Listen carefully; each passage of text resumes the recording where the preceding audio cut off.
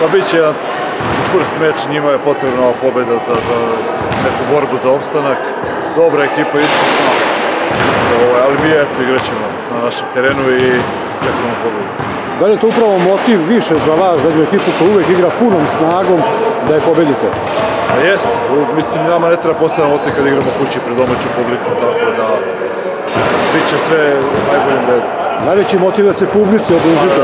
Pa da, mi treba se odužimo ovoj publici za cijelu godinu, tako da nema pravo na igru.